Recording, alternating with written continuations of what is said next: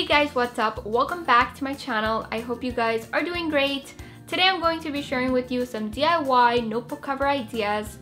I wanted to do 10 designs, but I kind of ran out of time, so that's why I'm going to be showing you how to do 7. There should also be a new video over on my second channel. It's going to be a watermelon squishy I think I'm going to upload that video today or tomorrow because I still have to edit the video.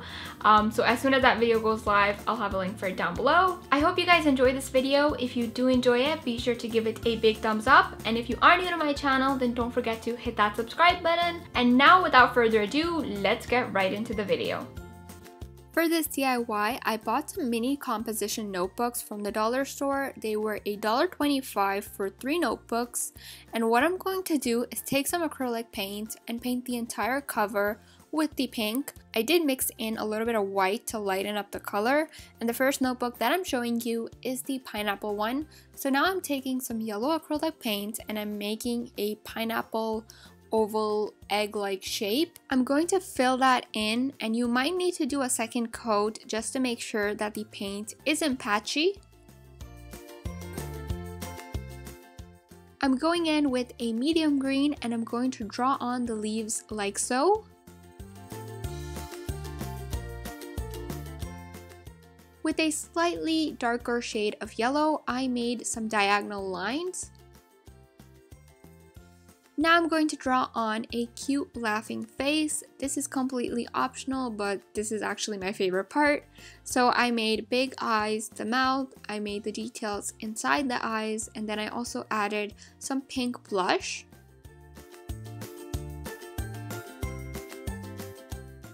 And this is the first completed notebook. Next, I'm going to show you how to make the ice cream sandwich notebook. For this, you're going to need air dry clay. I'm using Model Magic, but you can use any lightweight clay that you may have. So what I did is I rolled out the clay. It's not too thick, but it's not too thin either. I just put the clay on top of the cover and I basically just covered it up. Then I'm just going to flip it over and cut off any extra clay. The best part about this is that you don't have to do much shaping of the clay, so it's so easy to make and literally I'm telling you guys, this was probably the easiest one out of all of them and it looks so realistic once you're done. Anyway, now I'm going in with the end of a paintbrush and I'm going to make the little indents that a normal ice cream sandwich would have. So you just want to make that, make sure that you make them kind of deep because we are going to paint the clay afterwards. Let this air dry for about 12 hours. Once it was completely dry, I went in with some brown acrylic paint and I'm just going to paint the entire thing.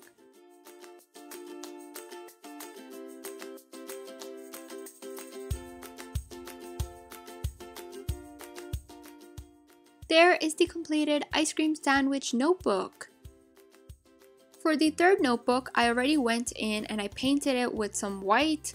Then I took some tape and I'm just going to place that down like so. Normally I would use clear tape to do this, but I used washi tape so that you guys could like kind of see what I'm doing. I'm sponging on the paint using a makeup sponge.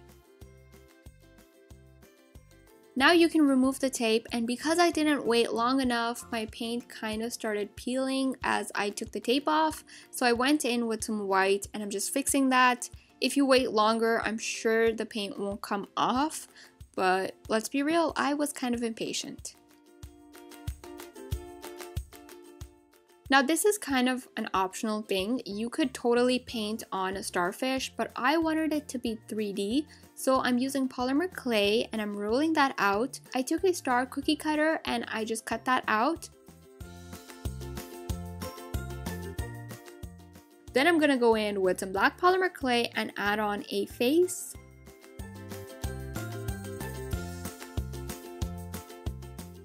Then you can let that bake in the oven for 10 to 15 minutes.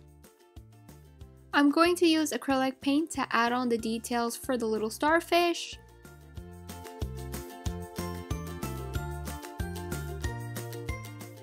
Before I glue on the starfish, I'm going to apply a layer of Mod Podge.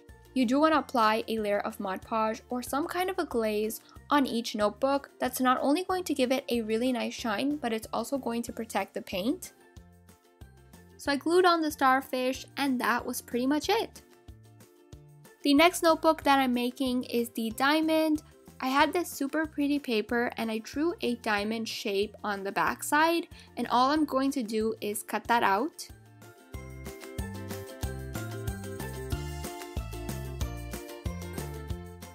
I already painted the cover with some black acrylic paint and I'm going to glue the diamond on. Now all I'm going to do is make these lines. I don't know how to explain this, but you can also use a marker for this.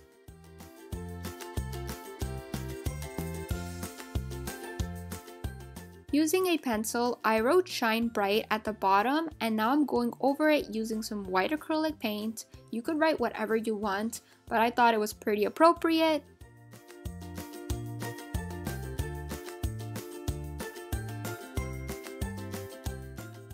And there is the completed diamond notebook. For the next notebook design, I already painted the cover with some white. Using a q-tip, I'm making these really random shapes. They don't have to be perfect, they can be big, small, however you like. Leopard print or cheetah print is one of my favorite designs to do on my nails actually. I used to do cheetah print, leopard print nails all the time and it's one of my favorites. It's super easy to do. Anyway, using a q-tip again, I'm going to outline each shape like I'm doing here and any area that is kind of empty, I'm going to fill it up by adding little spots.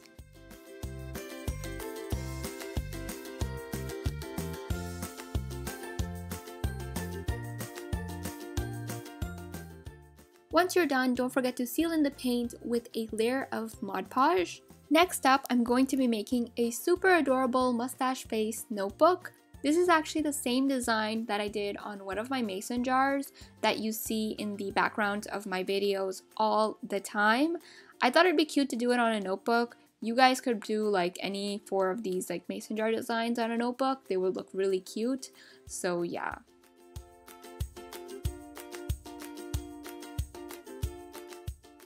I made an outline for the face using a pencil and all I'm doing now is filling it up with some acrylic paint. You could also use markers for this step as well.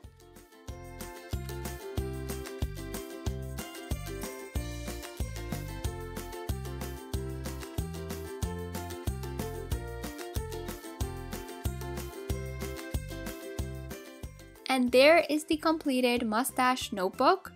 For the final design, I'm going to be making a cute watermelon. So I already painted the notebook with a light blue color and then I'm going in and I'm going to make a rough triangle-like shape. Then I'm going in with some green acrylic paint and I'm going to outline the bottom. I made little hearts for the seeds. And all I'm going to do now is add on a cute face you could also write something at the bottom if you would like.